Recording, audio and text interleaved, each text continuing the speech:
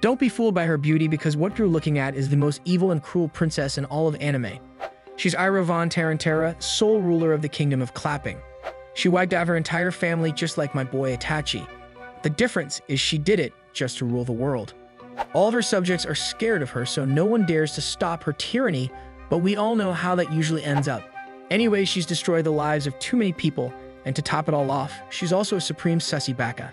Luckily, there's only one Chad that can save the world and alter the kingdom's destiny who goes by the name Theo Gospel. Now here's the catch, Theo was supposed to be an evil bishop, but some poor Korean lad named Lee got reincarnated into this world after getting hit by Truck Kun, and now he's taken over the life of Theo. So it's been a year since he landed in this brand new world, and Theo has quickly risen up the royal ranks to become Ira's most trusted advisor. Today, he's trying to convince Ira to not destroy a rebellious Lord Belfort, since he knows if she does so, his and her life will be over soon enough as he knows how this story plays out, because this world is a replica of a novel he used to love. Regardless, Old Man Belfort gets to live another day thanks to Theo trying to change the ending, and Bro has something else up his sleeve. Turns out, Belfort's daughter Clara got captured by Theo's men the day before allowing him to have the upper hand to make sure Belfort does not attempt any funny business while sentenced to life in captivity within the castle walls. But Theo might be a little sus, because as you can tell, it looks like Clara got some advanced invisible clothes and don't think that attire is the norm in this kingdom. Nonetheless, Belfort's face go pale after seeing that Theo's trump card is his own daughter, causing Theo to chuckle inside knowing that he's the real power behind every royal decision. Suddenly, Ira claps her hands in applause of Theo, making him snap back to reality, but the clapping might be foreshadowing something in the very near future. Mere seconds later, a menacing aura surrounds the evil queen, and the first things out of her mouth is her asking Theo if his plan was to make Clara get rice cake destroyed by her father in front of everyone. Bro then takes a moment to really analyze what Ira just said, because me personally, I did not expect her to say that either so she really do be an evil sussy queen. Anyways, Bro is left speechless and unable to fathom what Ira got in her head because things escalated straight from 69 all the way to over 9,000 in just seconds. To make matters worse, she said it with so much confidence that everyone in the royal throne room heard her, causing all of them to instantly think of plans on how to overthrow her rule because she ain't it chief. Nonetheless, her eyes begin glowing red like a demon lord, so Theo facepalms knowing he needs to be quick-witted or it's already game over today. As such, Theo activates Simp mode and heads for the Queen, claiming that he has another very humble plan for Clara instead of very suspect father-daughter activities. After sneaking some compliments here and there, he's able to convince Queen Ira to make Clara a maid of the palace instead of forcing her to grab some milk from a very unwanting Belfort, so it's all a win-win scenario.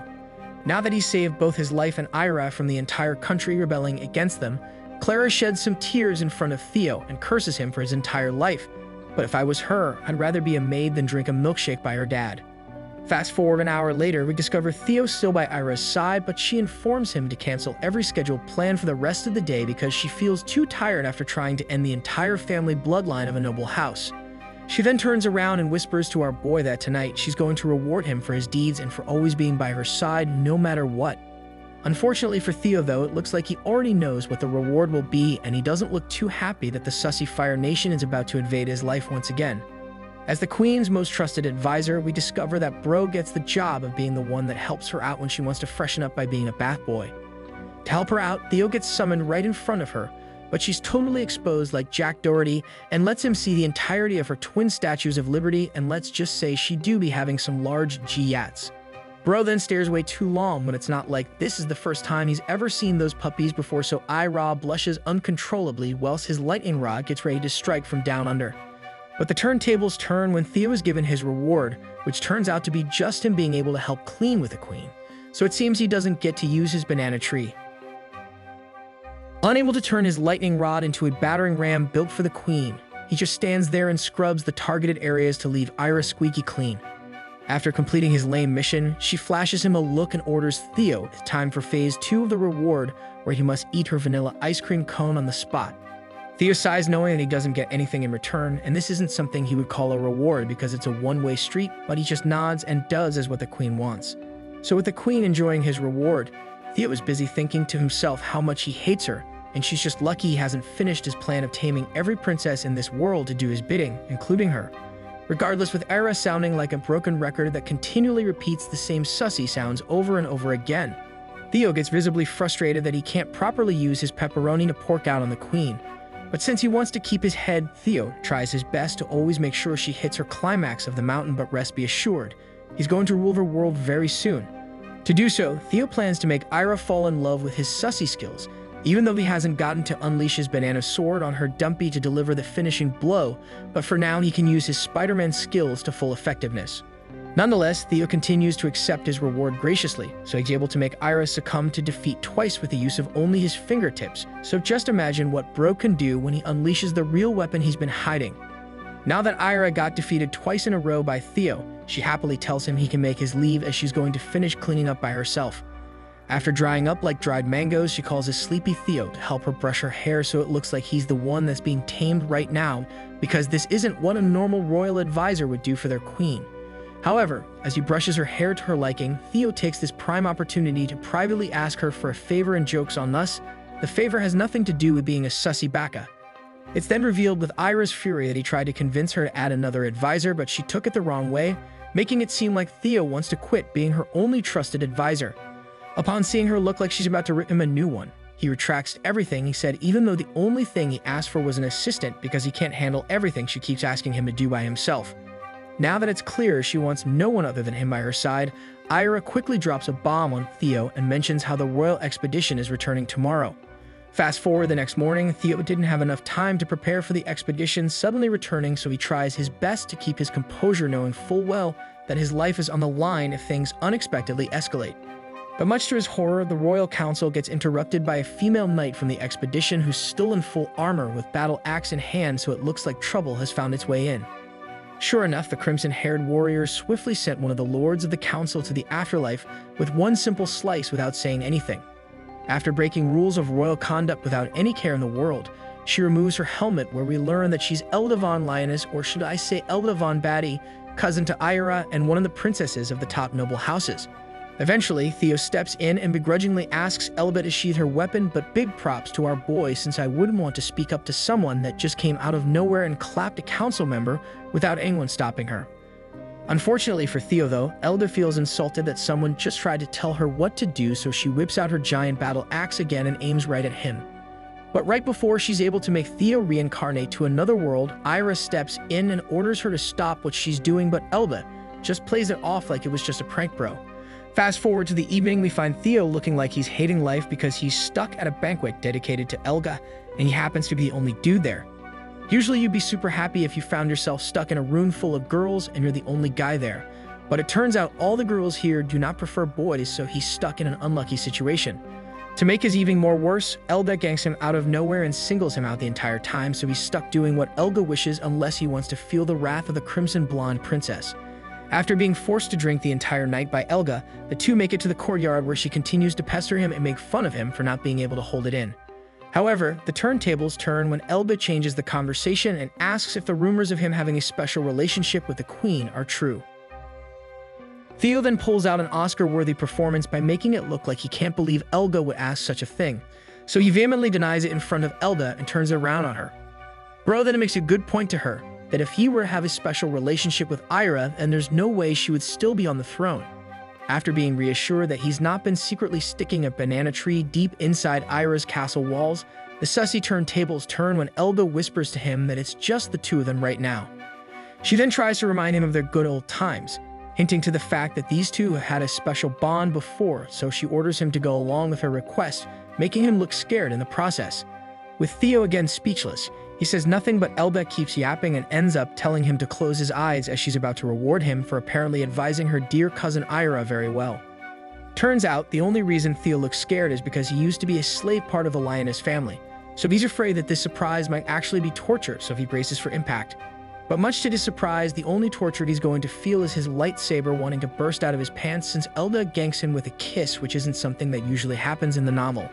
Mere seconds later, Theo pulls off a big brain move and activates his sussy jutsu by returning the favor, so he directly attacks her twin pyramids of Giza while swapping personal liquids like no tomorrow.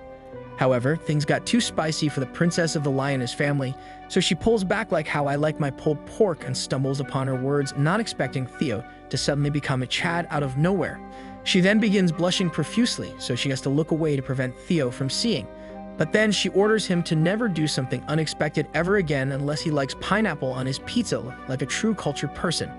To save her from embarrassment, she quickly changes the mood by whipping out a piece of an emblem and asks Theo if he knows anything about it since she got it from one of the savages she destroyed with one fell swoop. After taking a closer look at it, he realizes that the emblem looks like very elaborate handiwork, but he can't really tell what it is since it's been damaged a lot so he tells Elga he will try his best to find out what it really is. Fast forward to the middle of the night, Theo finds himself alone in his secret room within his quarters that contains a special scroll outlining everything that happens in the novel, since he wrote all down to make sure he doesn't forget. Funnily enough, after writing everything you remember on the scroll, he forgot all the details a few days later, so it's a godsend he didn't procrastinate or else his fate would have been totally different. The next thing that's coming up in this timeline is the hero's appearance, but since he was able to stop Ira from being too tyrannical, he's altered the timeline. As such, he heads to bed trying to catch some Z's, but he knows full well that Theo is destined to get destroyed in the novel, so he's planning to make sure he can live as long as he can. The next morning, Bro gets awakened by Ira, who wants to bring him to go see the peasants in town, but he's totally frustrated because today is his day off, but she doesn't care at all. Nevertheless, Theo accompanies her to go visit a pub since she's heard rumors that a fairy works there and since she's never seen one in person before, she's super excited to see what they are like. Soon enough, a waitress approaches them to grab their order, but instead of grabbing some food, Ira pulls out a gold coin from her sleeve to entice her to bring out the so-called fairy. The waitress freaks out at the gold coin tip because that's equivalent to like a billion Robux, causing Theo to warn Ira to calm down because now everyone is looking at them wondering who they are. Eventually, the busy fairy comes out who we discover happens to be the owner of the tavern, allowing Ira to finally get her fix of seeing a fairy face to face. However, as Ira happily plays around the existence of the fairy, owner shifts her gaze towards Theo and casually tells him that his mere presence is very bothersome due to his bloodline. Unsure of what she truly meant, Bro just shrugs it off and next thing, he knows a couple hours has passed by and now he's got to take care of the queen once again since she drank too much at the tavern. After Ira gets placed to rest on his bed, she pulls him close and orders him not to leave her, spilling the beans that she just wants to sleep together tonight. Mere seconds later, after Theo blinks once, he realizes that the queen was able to effortlessly remove every part of her armor without his help where she then proceeded to motion to him to come close. Upon getting close, she orders him to remove everything ASAP. With no other choice, he follows the orders of his queen, but much to his surprise, she invokes Article 69, allowing her to quickly grab his banana lightsaber. Now to make it clear, at this point Ira has never really dealt with someone's lightning rod, so her curiosity gets the better of her causing her to just eat up the entire Italian sausage. The swallowing sound is now music to Theo's ears so he almost cries, unable to believe that it actually happened, that Ira actually returned the favor so he never thought he would still be alive when that day came. Unsure of what to do next, Theo makes the foolish mistake of telling Ira to stop what she's doing, but this causes her to take it personally like Mamba mentality because no one ever orders her what to do.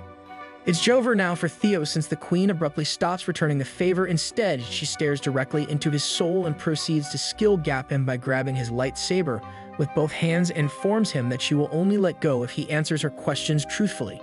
First, she asked about his past life and how he ended up part of the lioness family as a slave because she doesn't really know him that well, even though he knows everything about her. Now, literally stuck in a sticky situation, he tells her a sob story that he was taken in by the church since he was an orphan when he was a child, hence the last name Gospel, but he ended up getting sold to the lioness family later on. After telling her his entire life story before she was able to buy him out, Ira lets go of his prince Behemoth and successfully baits him, but Brogue is worried when she spreads her wings right in front of him. In an instant, Theo's chili hot dog surpasses levels he never thought was possible after seeing the royal flaps on the bird, so Ira tells him she's going to give him a reward for telling the truth.